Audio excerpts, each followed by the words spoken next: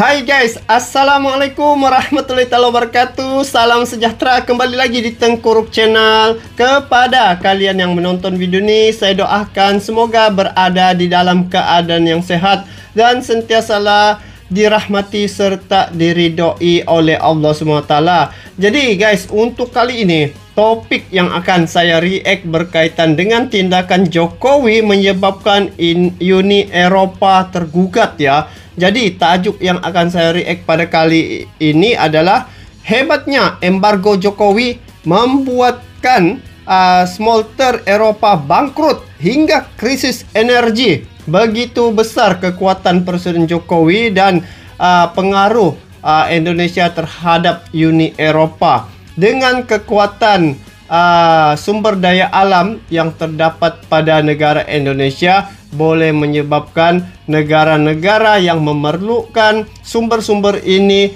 terjejas ya guys. Nah, jadi ayo kita semak bagaimana informasi ini terkait dengan uh, tindakan Jokowi membuatkan Uni Eropa menjadi krisis energi. Nah, jangan main-main dengan Presiden Jokowi, jangan main-main dengan Indonesia. Ah, itulah uh, kelebihan yang ada pada negara Indonesia yang saya tengok uh, dengan kekuatan sumber daya alamnya boleh mempengaruhi dunia. Jadi, ayo kita semak klip video ini dari channel bagi-bagi kepada kalian yang menonton video ini. Support juga ini channel bagi-bagi dengan memberi like, komen dan bagi yang belum subscribe dia punya channel boleh subscribe ini channel bagi-bagi. Jadi, ayo kita lanjut bagaimanakah informasinya.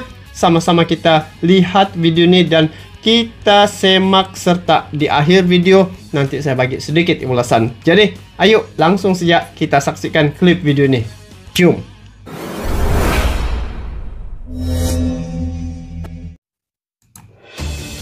Bukan omong kosong, gara-gara Jokowi pabrik smelter Eropa bangkrut hingga krisis listrik. We also see that the Russian manipulation of the gas market has spillover effects on the electricity market.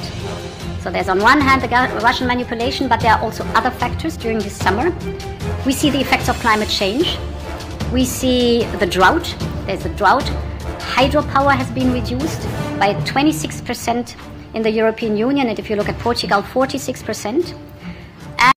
Oh, ini ya. Uh, gara-gara uh, kehebatan uh, embargo Jokowi membuat uh, smelter Eropa bangkrut hingga krisis energi listrik gitu ya. Uh, jadi uh, ayo kita saksikan klip video ini uh, di akhir video nanti nanti saya uh, beri sedikit ulasan guys. Ayo. And we have the fact that we have less. Oleh sebab itu semuanya kita semuanya harus memiliki sense of crisis. Betul-betul siap atas segala berbagai kemungkinan yang mungkin terjadi yang tanpa kita prediksi, yang tanpa kita hitung, semuanya kita harus siap. Bukan hanya untuk mampu bertahan, tetapi juga bisa memanfaatkan setiap peluang yang ada. Oleh karena itu, sekali lagi, semuanya kita harus siap. Semuanya kita harus siap. Wow, tengok keberanian Jokowi guys, dengan dia punya tindakan dan juga dia punya pendirian. Halo sahabat bagi-bagi, kasihan sekali, Uni Eropa dan Amerika mengalami krisis listrik hingga pabrik smelter bangkrut karena kebijakan Jokowi. Ini membuat Eropa akan semakin galak, dan akan kembali menggugat kebijakan Jokowi ke WTO. Jokowi posesif dengan kebijakannya yang selalu memojokkan Eropa pada lubang resesi. Penjajah modern itu semakin hari semakin lemah, dan mulai kalah dengan ditandai dengan bangkrutnya smelter. Ini wow. membuat Indonesia kasihan dengan negara Eropa, dan terpaksa membuka keran ekspor batu baranya demi membantu Eropa yang sedang dilanda krisis. Namun bantuan ini wow. tidak cuma-cuma, bantuan ini dibalas Jokowi dengan kebijakan baru, yang membuat kebijakan smelter di Eropa bangkrut dan tidak bisa memproduksi Minerba. Sungguh cerdik kebijakan Jokowi bisa membuat Uni Eropa terjadi krisis di mana-mana.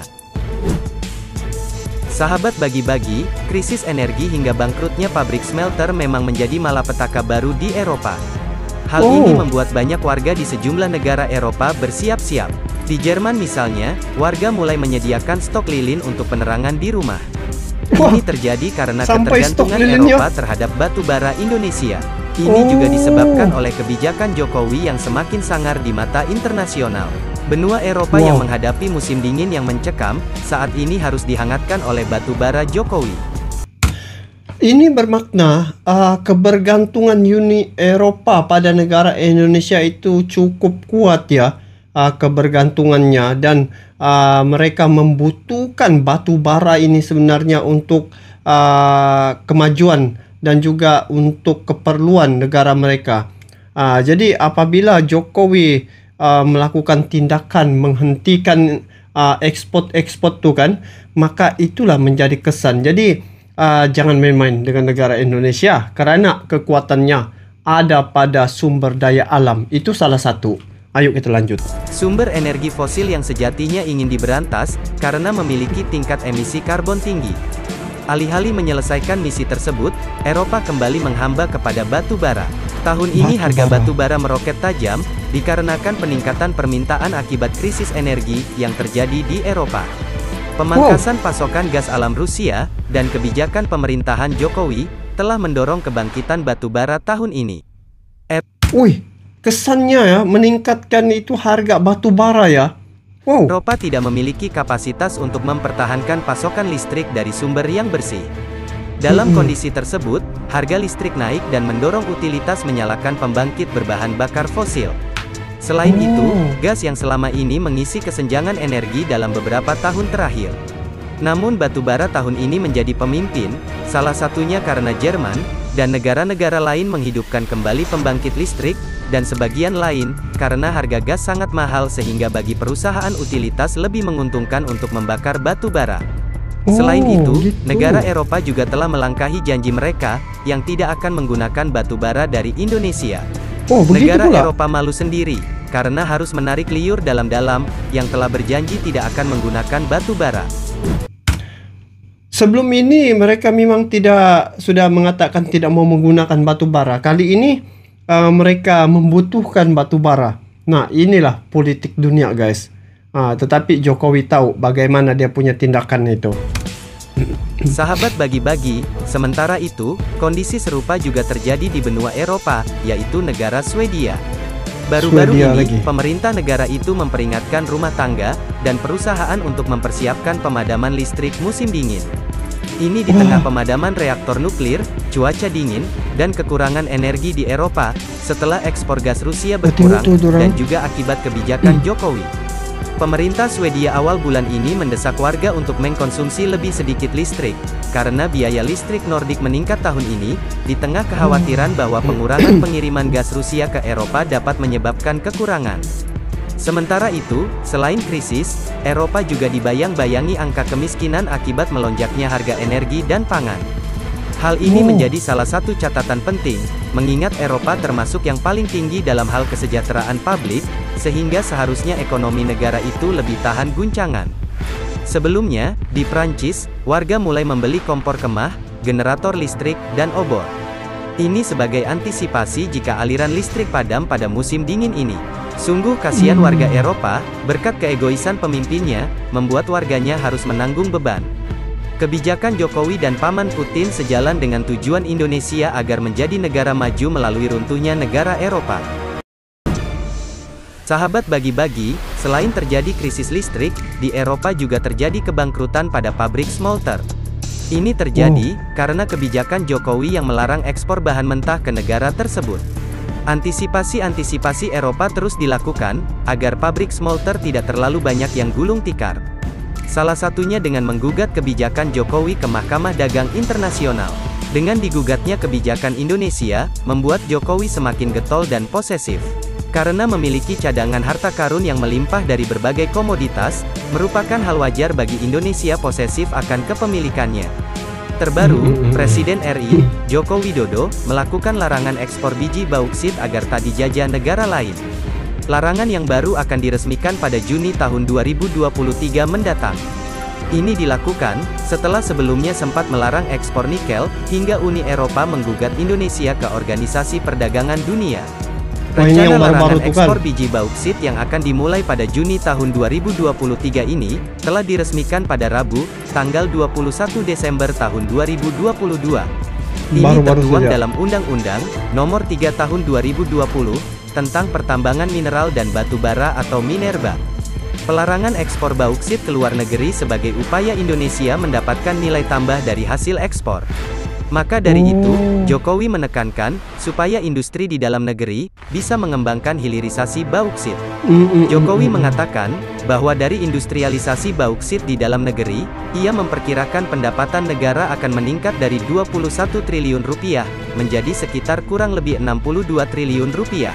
Wah, Namun, tinggi peningkatannya itu. mewujudkan program hilirisasi tentu tidak mudah. Pemerintah harus mengembangkan smelter sendiri dengan biaya yang jumbo. Dan sudah pasti IMF tidak mau ikut membiayai, karena telah dipengaruhi negara Eropa, agar tidak membantu Hmm. hilirisasi di Indonesia. Sahabat bagi-bagi, menurut pelaksana Ketua Harian, Ketua Umum Asosiasi Pengusaha Bauksit dan Biji Besi Indonesia, APB3I, Ronald Sulistianto. Untuk membangun satu smelter bauksit di Indonesia, setidaknya harus merogoh kocek hingga 1,3 miliar dolar, dengan kapasitas mencapai 2 juta ton ore. Berapa kerugian yang telah Eropa peroleh dari bangkrutnya smelter di sana itu, menjadi acuan Mm. pemerintah agar membuat lebih banyak di Indonesia.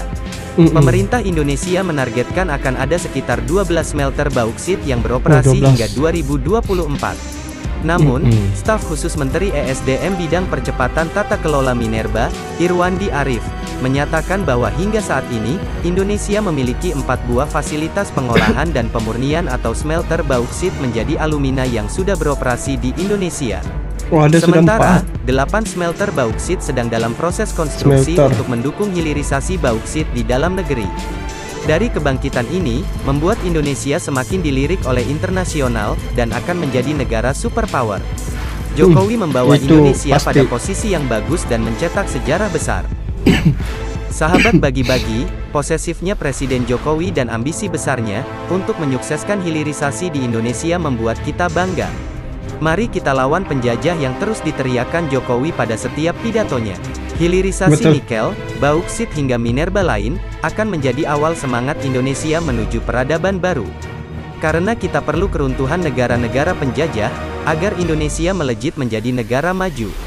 Mari kawal hilirisasi Indonesia dan tuduhan Eropa kepada Indonesia yang tidak benar.